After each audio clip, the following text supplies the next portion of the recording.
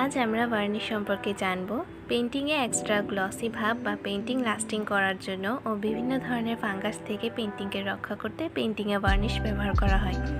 Varnish দুই ধরনের হয়ে থাকে স্প্রে ভার্নিশ ও লিকুইড ভার্নিশ আমাদের দেশে স্প্রে ভার্নিশ বেশি ব্যবহার করা হয় কারণ লিকুইড ভার্নিশের দামটা একটু বেশি হয়ে থাকে। স্প্রে ভার্নিশ কম করে হলেও আট ইঞ্চি ডিস্টেন্স থেকে ব্যবহার করতে হয়। বেশি কাছ থেকে ব্যবহার করলে পেন্টিংয়ের ডিটেলস নষ্ট হয়ে যেতে পারে। আর লিকুইড ভার্নিশ কয়েক ফোঁটা পেন্টিংয়ের উপর ঠেলে ব্রাশ দিয়ে ব্যবহার করতে হয়।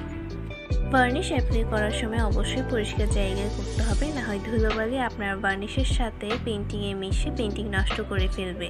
এমন আরও ভিডিওর জন্য চ্যানেলটিকে সাবস্ক্রাইব করে রাখুন। বাই